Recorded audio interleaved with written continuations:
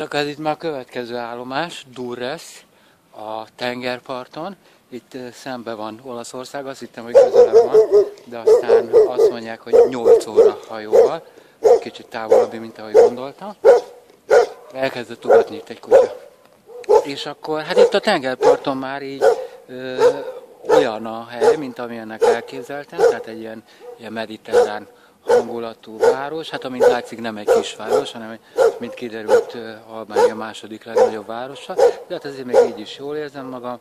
A tengerparton mindenféleképpen állati jól kiépült, klassz, tiszta és modern minden. A, a kicsit távolabb a parttól aztán hát már ilyen romosabb a, a hangulat, de, de még így is viszonylag tiszta. Na, hát akkor mutatom a képeket, ez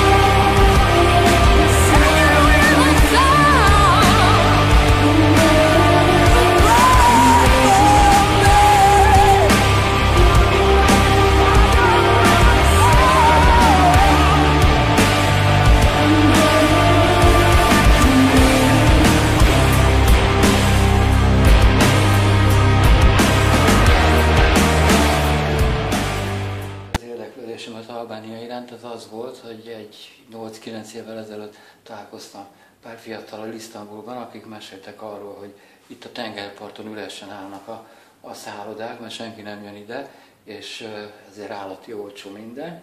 És hát aztán 9 évet kellett várni, de azért eljutottam ide.